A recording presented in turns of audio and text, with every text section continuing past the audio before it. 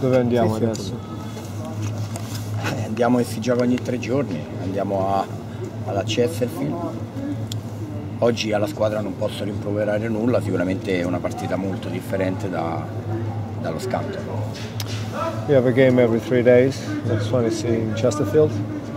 Uh, today, honestly, I have nothing to say for the performance. Uh, it was different from the previous one, and then uh, so we have to start again.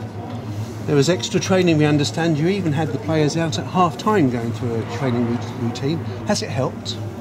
Ha aiutato questo regime di eh, allenamenti più, più frequenti che abbiamo avuto durante la settimana scorsa.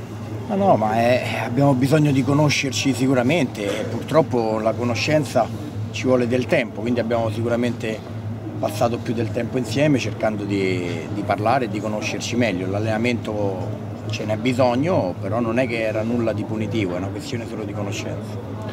So the more intense training schedule, it wasn't something like a punishment or something. It was a way to know each other better because in two months there's not much time to know each other as players, as people, and so it was useful to understand the players better. Why was Hedges and Cox on the bench?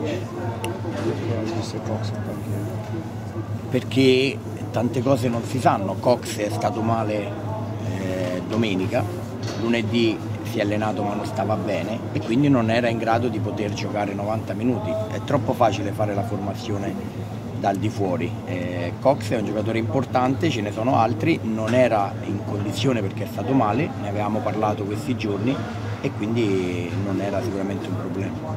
There's uh, lots of people, lots of things that from the outside people don't know about. Uh, Cox was uh, unwell on Sunday. Uh, he only trained partially on, uh, on Monday, so he wasn't in a condition to, to play. That's why he was on the bench.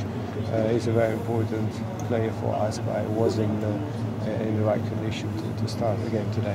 Sean Back came on for Chris Dagnall. What were you trying to achieve?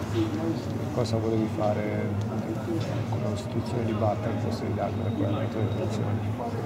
Ma volevo mettere un giocatore un pochino più fresco vicino a Lisby che non riusciva ad attaccare più la profondità e quindi Bat comunque ha creato un paio di situazioni, è arrivato sul fondo, ha dato un pochino più di vivacità, delle volte si fa un cambio, Doug era stanco ma non, non per questo è una bocciatura di Dagnall, visto che con me ha giocato sempre e quindi è stato un cambio. I just wanted more depth in, in uh, playing, uh, and uh, I saw Dagon a bit tired. Uh, it's definitely not. Um, I mean, I, I consider Dagon an important player, and in fact, he always plays since I'm here. But um, I wanted a fresh player in that could attack the, the channels, and in fact, that created a few dangers the. I recall you blamed the referee for the defeat at Colchester, the players for the defeat at, uh, against Scunthorpe. Who was to blame tonight? Magari Colchester era un po' colpa dell'arbitro, nella partita con lo scanto erano più colpa dei giocatori, ma oggi cosa si può dire chi la colpa?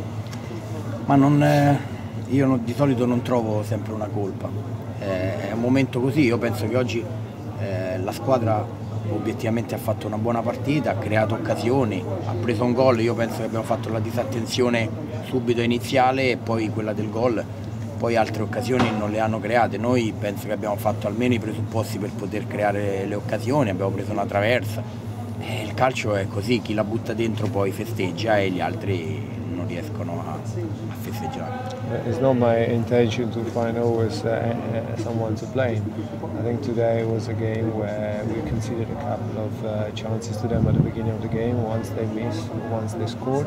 But to be honest, that's the little things that we didn't do rightly because the rest of the game we tried to attack, we created many chances. Unfortunately, the ball didn't go in.